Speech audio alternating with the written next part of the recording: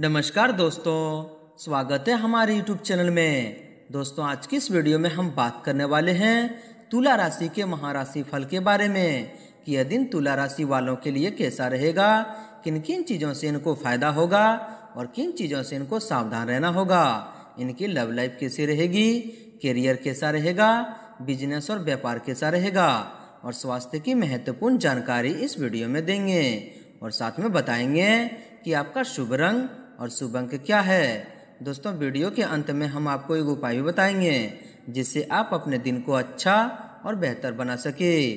तो दोस्तों, वीडियो शुरू करने से पहले मेरी आप लोगों से रिक्वेस्ट है, अगर आप हमारे इस चैनल में नए हैं तो चैनल को सब्सक्राइब करें, साथ में नोटिफिकेशन बेल को दबा दें, जिससे समय समय पर हमारी न्यू वीडियो आप तक सबसे पहले पहुँच सके।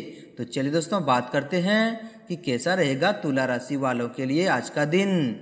सबसे पहले बात करते हैं, क्या आज आपके लिए पॉजिटिव रहने वाला है?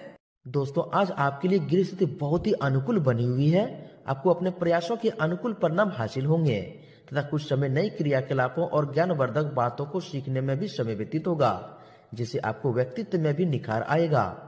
आज आपको अपने किसी विशेष कार्य में सफलता मिलने वाली है। लोग भी आपकी काबिलियत और योग्यता के कायल भी हो जाएँगे। अगर प्रॉपर्टी की खरीद फरोख्त संबंधी कोई कार्रवाई चल रही है तो आज उससे संबंधित गतिविधि आसानी से संपन्न हो जाएगी।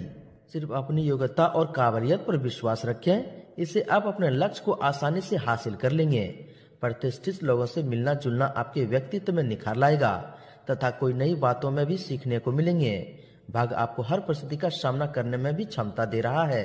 दोस्तों, किसी खास संबंधी की समस्या का समाधान मिलने में आपका प्रयास सफलता रहेगा। अगर कहीं पैसा फंसा हुआ है तो उसकी वसूली के लिए प्रयास करें। सफलता मिल सकती है। धार्मिक संस्था के लिए आपका योगदान रहेगा। दोस्तों, कोई पैतृक संबंधी का वाद विवाद चल रहा है तो उससे सुलझाने के लिए समय अच्छा है। किसी शुभचिंतक की सलाह और मार्गदर्शन भी आपके लिए मददगार रहेगा। कोई लाभदायक यात्रा भी संभव है।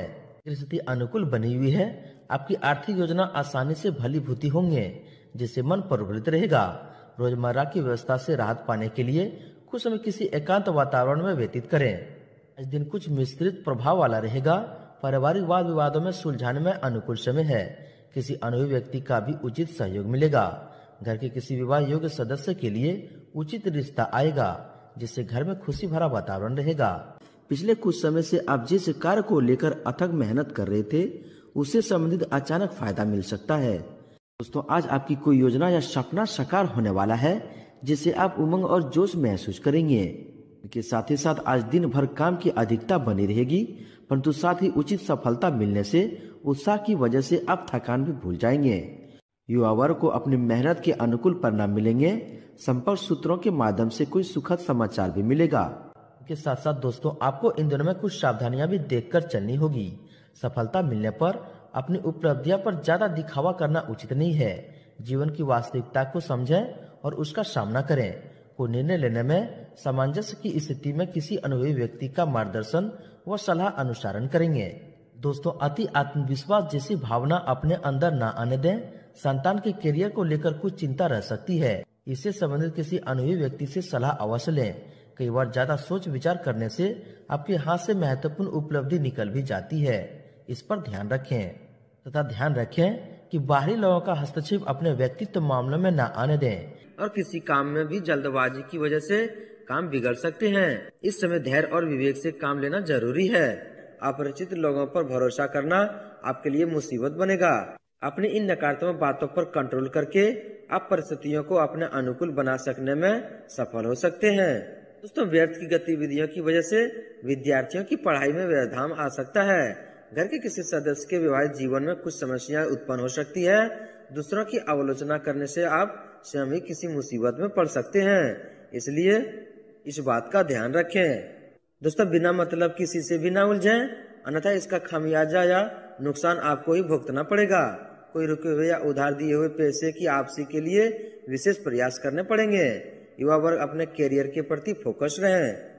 दोस्तों, आपके व्यवसाय में गति आएगी, परंतु तो अपनी किसी भी व्यवसाय योजना और गतिविधि के बारे में किसी से भी चर्चा ना करें, क्योंकि आपके कोई अपने नजदीकी व्यक्ति ही आपको नुकसान पहुँचा सकते हैं।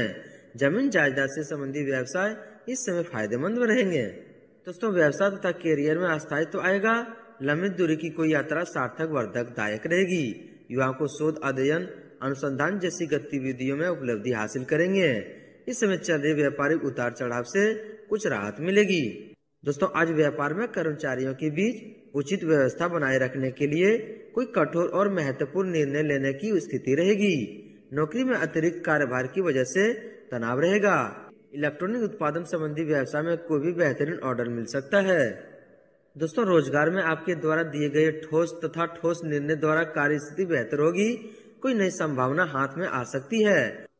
दीर्घकालीन लाभ की किसी योजना पर काम शुरू होगा। ऑफ़िस में किसी सहयोगियों के साथ वाद विवाद में उलझना नुकसानदायक रहेगा।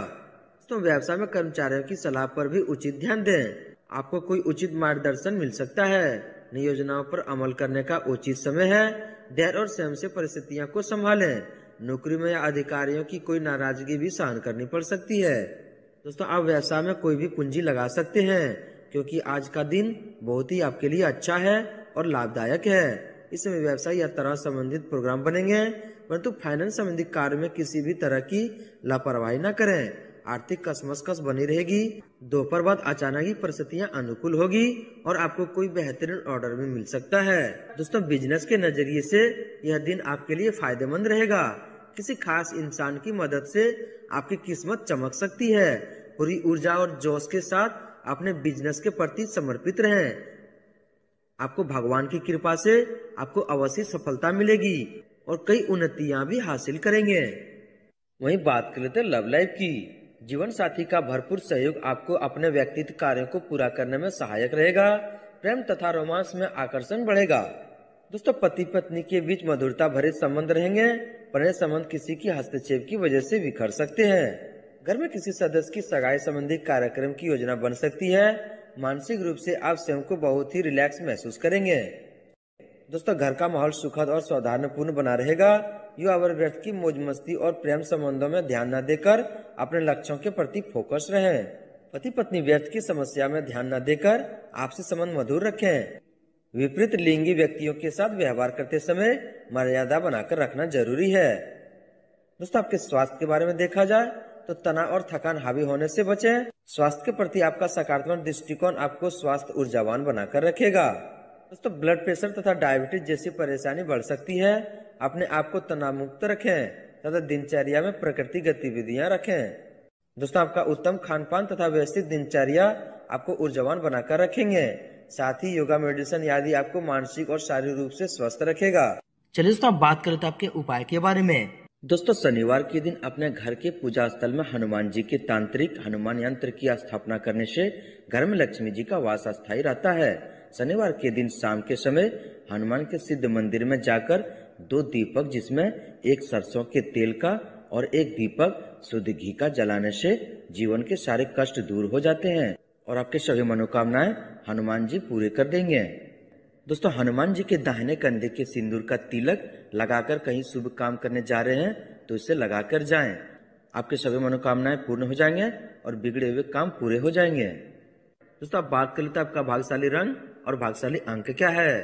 दोस्तों, आपका भागशाली रंग आसमानी है और भागशाली अंक एक है। दोस्तों, भगवान शनि देव का आशीर्वाद आपको प्राप्त हो। सच्चे दिल से कमेंट बॉक्स में जय शनिदेव ज़रूर लिखें और वीडियो को लाइक शेयर ज़रूर करें। धन्यवाद।